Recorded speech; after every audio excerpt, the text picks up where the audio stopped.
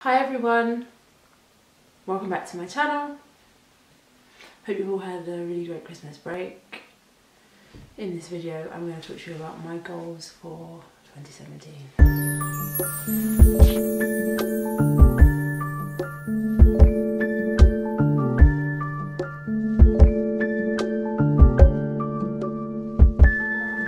Happy New Year everyone, welcome to 2017.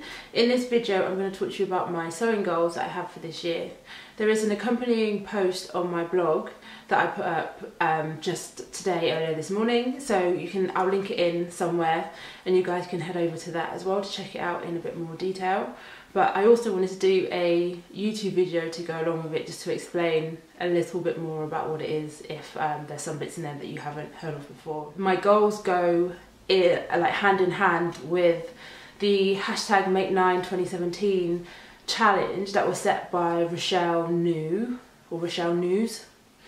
I think it's Rochelle New, um, but I'll link it in below. And basically, she decided to do um, a hashtag Make Nine as something that she can reflect on to see um, how far, how much she progressed or how well the previous year did or didn't go by having something tangible to say. At the beginning of this year I said I wanted to do these things and at the end of the year I've managed to do these things so how has it worked out, what have I learned and things like that.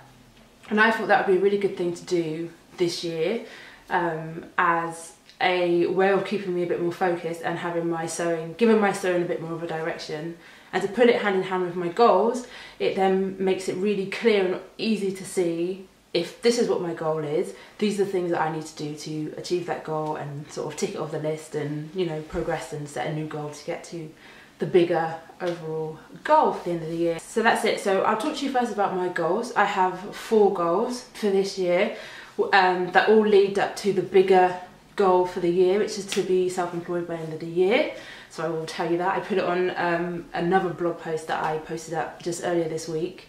And I was keeping it a little bit secret, but you know, you need to declare to the universe what it is that you want to bring onto yourself. So that is my declaration: is to by the end of this year um, be self-employed. And um, I'll link in my other blog post as well, so you can have a look at see what are the personal um, goals I've got. I've set myself um, and commitments I'm going to make to help me get to that point and get to a few other goals that I have as well for the year. First sewing related goal is to improve my tailoring skills that I have learnt from things that I have made last year. So I made a tailored men's tailored blazer last year and the year before that I made a cape or that might have been last year as well. I can't I can't actually remember when I made it. So to prove my tailoring skills on that and also to um, make uh, occasion dresses which I think kind of goes hand in hand with tailoring and sort of breaches on the, the point of couture um, sewing and couture fashion, which is something that I also want to learn, skills that I want to build on for this year because I, I love tailored clothes, I love tailoring in, in general. I think it, it's amazing. It's the way that someone can literally construct a garment um, so that it fits your body, hugs your body and it's like a second skin is, is, I think that's amazing so that's something I definitely want to learn. My second sewing goal for 2017 is to get to grips with stretch fabric. Like I've said before, I love tailoring, so I love tailoring fabric, I love the structure, I love everything that you can do with a woven fabric. I've shied away from jersey fabric to the point where I did not have a single piece of jersey fabric in my sewing stash up until last year and I have been sewing for many years. Um, so how I have managed to avoid jersey for that long is, um, I, I, believe, a testament to myself, to my dedication to woven fabrics. The third sewing goal that I have for this year is to make something other than clothing. There are loads of things that I could make with my sewing machine, but I only make clothes at, this point in time, at this present point in time. I have only ever used my sewing machine to make an item of clothing but there are lots of other things that I can make uh, like accessories for example chokers. Chokers are quite, were quite a big thing last year. I can make chokers this year I can make them for myself have a unique choker to wear. Like a shawl to have in the winter or a, a, collar sort of attachment to go onto a shirt to give it a bit of an edge if you just buy a plain shirt and you just want to put a, a clip-on collar I guess as opposed to a clip-on tie. But then ties and everything that I can make. So I just want to explore other things to make just to have a little bit of break to break up the clothes a little bit more because I do love making clothes and I love the construction of clothes but there are other things that I, I could try and I could potentially find a new love for that. Maybe I could fall in love with making cushion covers or making chokers or something else and it's just to give a bit more variety to uh, what I am making on my sewing machine this year so that I don't get bored and hopefully the creativity and influence can still influence the creativity and inspiration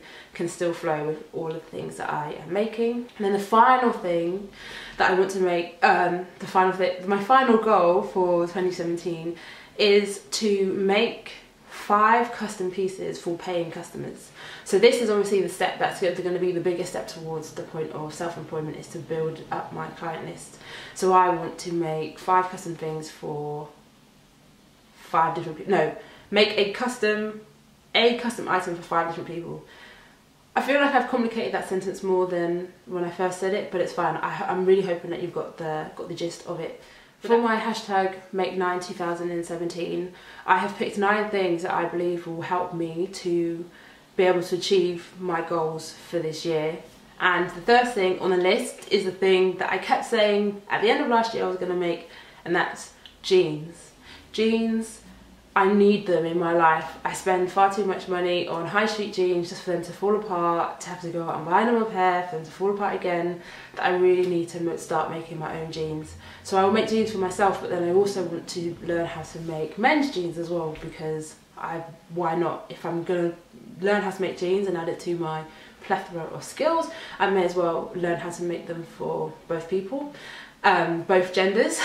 The second thing on my hashtag Make9 is a wedding dress or prom dress, which is self-explanatory. It covers off goal number one. And the third thing is coats. So to make more coats this year, which again covers off number one. And then number four on the hashtag Make9 is to make a bag or purse, which covers off the make something other than clothes goal. Number five on the Make9 is trousers, uh, which covers off number one, but then also is just something that I want to do to build up those skill sets, but also because I'm constantly saying I don't have enough trousers, as well as making girls' trousers to make men's trousers as well to help build up and cover off point number four, which was to get some paying customers this year. Number six, are we up to now, is um, to make some shirts and blouses for this year. If you watch my seamstress tag, you'll know that uh, buttons and buttonholes are my least favourite sewing task and I said then that I need to drill it out of me to get over it.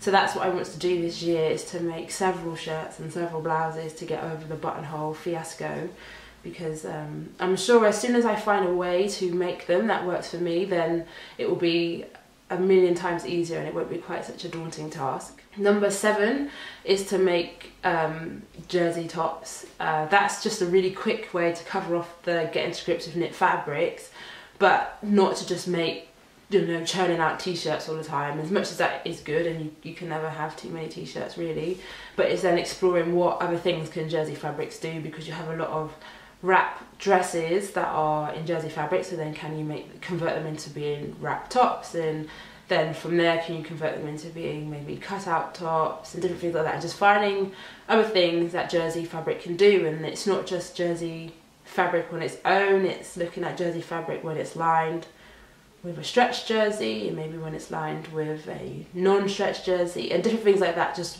finding ways to start off to start off first with a jersey top because I need to know how that works and then from that jersey top then building and building and building and building until I get really comfortable with jersey fabric and I am just as comfortable working with jersey fabric as I am with working with woven fabric. And number eight and nine on the list are things that I need to do for myself. But it covers off the goal of making something other than um, clothes, which is to make some cushion covers, which I do need for some of my cushions in my flat.